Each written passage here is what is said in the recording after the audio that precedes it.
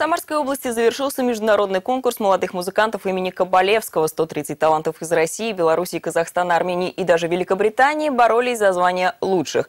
И только лучшие выступили в заключительном гала-концерте на сцене Самарской филармонии. Репортаж Татьяны Пудовой. Пианистка из Казани Лисан Абдулина перед началом соревнований пытается побороть волнение оригинальным способом, пишет собственную музыку.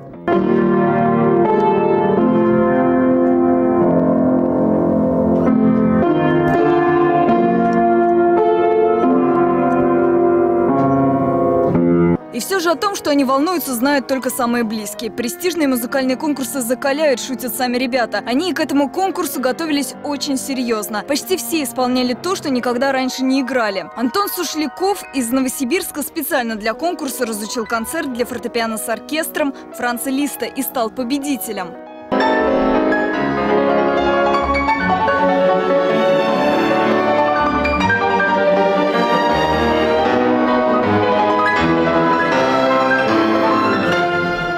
Конкурс очень интересный, но в то же время, на мой взгляд, сложный. Тут очень интересно, как бы, сгруппировали участников, то есть э, буквально все вместе, все группы совместили вместе. И вот это очень интересная особенность этого конкурса. Вот нигде не встречал этого раньше. С момента основания и на протяжении 52 лет конкурс Кабалевского вызывает интерес не только у профессионалов, но и любителей классической музыки. За это время он приобрел статус одного из самых престижных конкурсов не только в России, но и во всем мире. В этом году в Самару приехали молодые музыканты из Беларуси, Казахстана, Армении и Великобритании. Этот конкурс дал путевку на большую сцену многим музыкантам.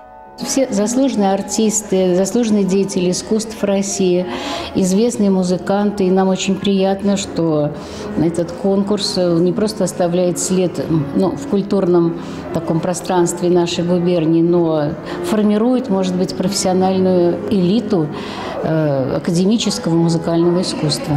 Классика в исполнении детей звучит вполне по-взрослому, с той лишь разницей, что в известных произведениях появляются те неуловимые моменты детства, которые недоступны взрослым и даже самым опытным музыкантам. Татьяна Пудова, Дмитрий Алатырцев, Новости губернии.